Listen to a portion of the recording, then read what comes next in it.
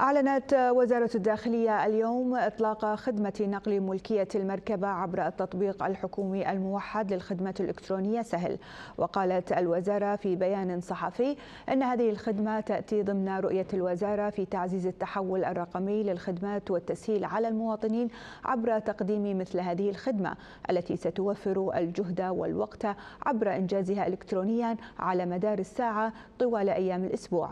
وأشادت الوزارة بتعاون تعاون وحدة تنظيم التأمين في إتمام الإطار التشغيلي لهذه الخدمة الإلكترونية المتاحة لمستخدمي تطبيق سهل الحكومي والتي سوف تتم عبر مجموعة بسيطة من الخطوات بين الطرفين. وأكدت وزارة الداخلية أنها ماضية في العمل على رقمنة خدماتها وتطوير أنظمتها بما يتناسب مع رؤيتها في إتاحة خدمات حكومية متميزة سهلة الوصول والتنفيذ.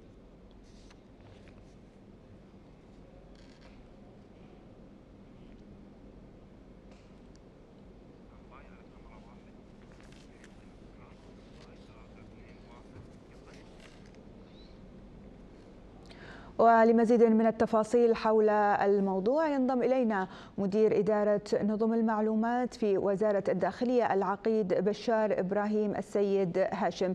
بداية عقيد بشار هل تطلعنا أكثر عن تفاصيل هذه الخدمة والتي بالتأكيد من شأنها توفير الوقت والجهد؟ يا هلا أحب أمسي عليكم السادة المستمعين. طبعا إحنا اليوم باطلاق الخدمة تحويل آه، نقل آه، مركبة استكملنا منظومة خدمات آه، وزاره الداخلية لله الحمد فضل الله ثم الفريق اللي اشتغل عليه بالتنسيق مع وحدة تنظيم التأمين والإدارة العامه للمرور.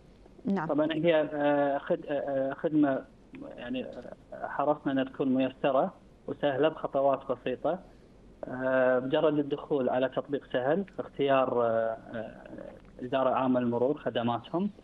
آه، يدش المالك الأساسي آه، يستعرض المركبة اللي يبي آه، يحولها يتم إدخال الرقم المدني للمالك الجديد يرسل الإشعار. يستقبل الشاري إشعار في موافقة على تحويل المركبة.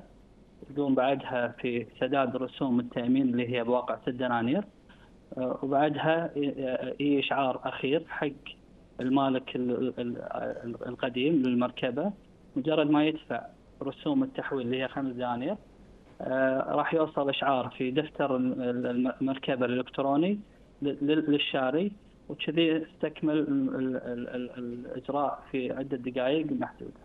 نعم آه، ولكن يعني هل هناك شروط معينة واجب توافرها لحظة استخدام خدمة نقل ملكية المركبة عبر تطبيق سهل؟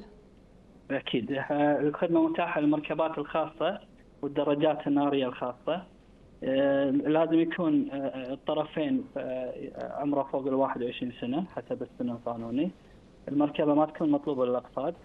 ما تكون في مخالفات على المركبة أو على الطرفين الشاري والبايع.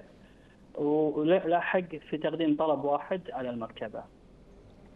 هذه أبرز الشروط الواجب توافرها.